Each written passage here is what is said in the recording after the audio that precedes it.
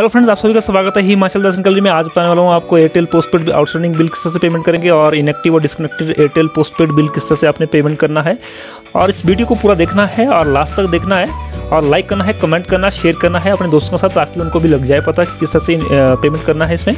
तो इसमें पूरा प्रोसेस बताया गया है। आपने इसको वीडियो को पूरा देखना है स्टेप बाय स्टेप अगर आपने वीडियो छोड़ दी तो आपका जो है प्रोसेस पूरा कंप्लीट नहीं होगा। चलिए शुरू करते हैं इस वीडियो को। फ़र्स्ट स्टेप आप जाएँगे एयरटेल डॉट इन पे। सेकंड स्टेप आपका पोस्ट पेड पर जाएँगे, वहाँ पर पे बिल लिखा होगा, वहाँ क्लिक करना आपने।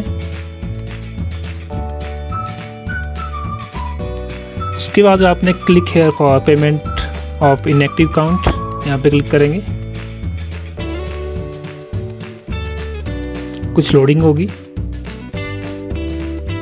और ऊपर लिखा भी रहेगा inactive account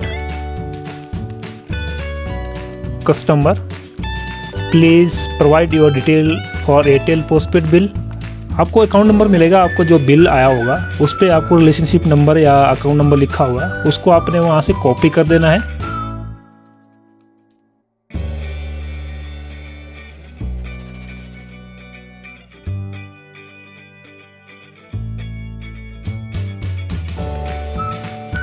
और ये मैंने अकाउंट नंबर टाइप कर दिया है। ध्यान रहे आपका अकाउंट नंबर और रिलेशनशिप नंबर आपको पूरा सही होना चाहिए। उसके बाद आपने मोबाइल नंबर डालना है। ये मैंने मोबाइल नंबर एंटर कर दिया। उसके बाद आपने जो आउटस्टैंडिंग अमाउंट है, वो आपने इसमें एंटर कर देना। मेरा 163 अमाउंट है, उसके बाद ईमेल एड्रेस आपने इसमें डाल देना है, जो आपका ईमेल एड्रेस है। फिर सबमिट के ऊपर क्लिक करना है।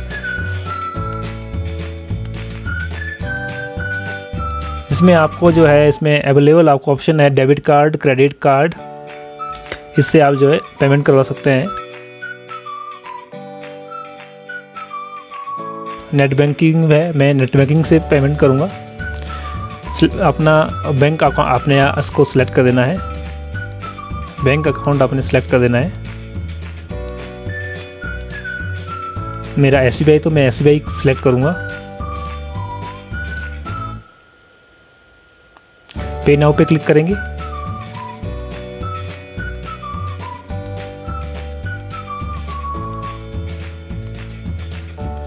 इसमें आपने यूज़र नेम डाल देना।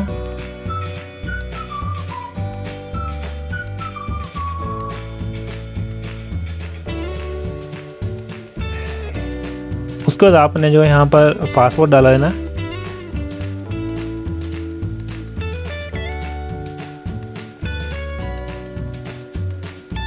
लॉगिन के ऊपर क्लिक कर देना है।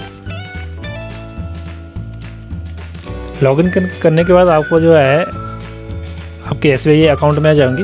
उसमें कन्फर्म पे क्लिक कर देना। दोबारा से कन्फर्म पे ऊपर क्लिक कर देना है। उसके बाद आपको जो है, आपके मोबाइल पे एक ओटीपी आएगा, उसको आपको यहाँ पर एंटर कर देना है। एंटर करने के बाद आपने जो इसको कन्फर्म कर कन्फर्म के ऊपर क्लिक कर देना है।